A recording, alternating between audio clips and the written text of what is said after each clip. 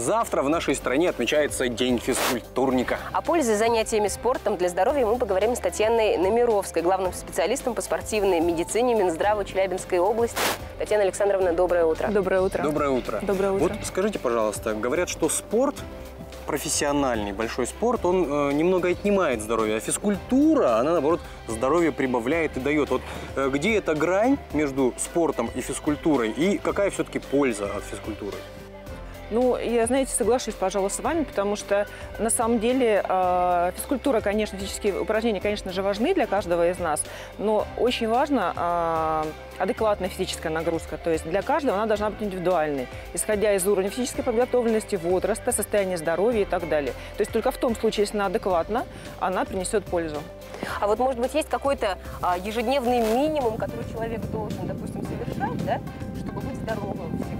Ну, знаете, специалисты рекомендуют примерно 150 минут в неделю уделять этому. Конечно, лучше это делать э, минут по 30-20, но каждый день. А делать что, простите? Татьяна? Физические упражнения. А, А, то есть, какие-то конкретные, это ходьба, бег? а вы знаете, а лучше, конечно, э, выбирать каждому для себя, исходя, опять же, своего темперамента, желания и так далее. Потому что физические упражнения, помимо того, что они должны влиять на, на наше тело, они должны еще влиять на нашу душу, то есть приносить нам удовольствие, хорошее настроение и так далее. Бег. Все, все занимаются бегом, сейчас это очень популярно. А, многие спорят, э, есть бегуны утренние, а есть бегуны э, послеобеденные или вечерние. Вот когда полезнее? В какое время суток? А Вы знаете, тоже зависит от э, особенностей человека организма. Кто-то жаренький, кто-то совы. То есть Вот можно и я, так, и например, так. люблю заниматься вечером. Утром мне очень сложно заниматься. Поэтому, а кому-то утром, для кого-то утро это самый активный э, период дня, поэтому тоже каждый выбирает для себя. Не сказать, что это полезно либо вредно. Для каждого что-то свое. А вот какой бы вы спорт назвали полезным, а, скажем так, ну, а, не травматичным, а действительно полезным? Вид спорта. Э, вид спорта или все-таки физических каких-то физической, физической культуры? Вот, допустим, если человек вот э, физкультурой занимается для себя, он чувствует, что ему мало этого, и хочет действительно заняться каким-то спортом определенным, но не травматичным. Ну, тогда, вы знаете, я, наверное, назову плавание. Потому что во время плавания, конечно, нагружается весь организм, все, все, м- все мышечные системы, вся мышечная система очень полезна для спины, потому что у нашего, знаете, уже даже у молодого поколения сейчас очень много таких э, заболеваний, проблем, как да. остеохондроз, генеративных, да, и поэтому плавание, конечно, в данном случае очень полезная штука. Э, Дети. Э, Все любят детей, у всех есть дети, у нас есть. Как выбрать правильно для ребенка спорт и в каком возрасте об этом вообще нужно задумываться и в каком возрасте отдавать? Вы знаете, э, я, наверное, опять повторюсь, скажу, что все индивидуально очень. Дети разные, у каждого свой темперамент, у каждого своя физическая подготовка, у каждого свой, э, свой уровень здоровья у детей. Поэтому, и, конечно же, еще нужно учитывать, э, хорошо бы учитывать желания все-таки детей, потому что занимать, заставлять занимать, заниматься ребенка спортом из-под палки, так скажем, да, но это не очень, на самом деле, успешно, не очень удачно. Вот. Поэтому разнообразие очень большое, поэтому ну, с 5-6 лет уже достаточно такой возраст, когда ребенка можно давать спорт. Но, безусловно, конечно, сначала нужна консультация спортивного врача или педиатра, потому что допуск должен быть обязательно. То есть ребенка нужно обследовать перед тем, как отдавать ребенка в спорт. Но вот сейчас большинство родителей, они за раннее развитие своих детей, вы говорите, в 5-6 лет, допустим, куда-то отдавать в секцию, но, допустим, а, тех же самых грудничков, их там буквально с самого рождения, с месяца опускают в этот специальный бассейн со специалистами, они учатся плавать, нырять и так далее и тому есть подобное. даже бэби-йога. Есть.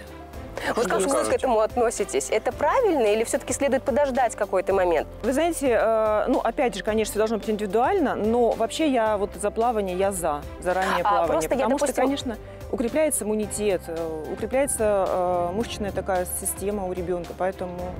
Но вот смотрите, допустим, потом специалисты говорят, что когда им приводят ребенка а, в 4-5 лет, допустим, с тем же самым плаванием, их нужно всему а, переучать, потому что их неправильно якобы воспитывали, неправильно учили нырять, там они делали неправильные упражнения.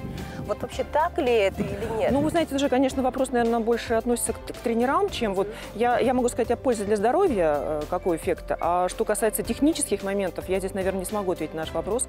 Может быть, это так, не знаю.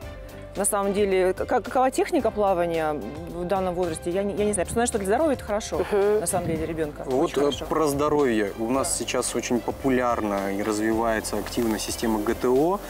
Есть вот здесь какая-то польза для здоровья и какая? А, ну, вы, наверное, знаете, что движение ГТО у нас уже когда-то существовало, э, уже тогда в Советском Союзе еще тогда. Это где-то с 31 по-моему, года по 91 год. И потом это все прекратило свое существование, потому что распал Советский Союз. А в 2014 году вновь все началось по указу президента. И, конечно, основные цели, которые президент преследовал, э, да, при подпи- э, когда готовил этот документ, я думаю, что и сейчас э, это подтверждается. Это, конечно же, развитие массового спорта. На это все направлено. На то, чтобы люди занимались спортом, как взрослые, так и дети. На то, чтобы все придерживались здорового образа жизни, а, чтобы там посещали спортивные секции, на продолжительность жизни, на улучшение физических э, способностей каждого человека в отдельности. Вот на это. То есть да, польза очевидна. Польза очевидна, конечно. Татьяна Александровна, вот а, мы, естественно, отмечаем все День физкультурника, да, и в Челябинской области, в Челябинске пройдут очень много мероприятий, посвященных этому дню. А вот какие? Вы могли бы о них немножко рассказать, буквально в двух словах?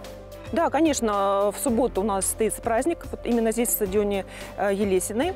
Это будет, будет сдача норм ГТО. Э, Члены э, правительства Челябинской области, ЗАГС собрания, всех министерств готовятся к этому. Э, Вот они будут состязаться и получать значки свои. Хм, Министерство интересно. здравоохранения, кстати, у нас тоже в этом активное участие принимает. Мы уже получили все допуски, мы организовали медицинский осмотр, мы все уже готовы, ждем.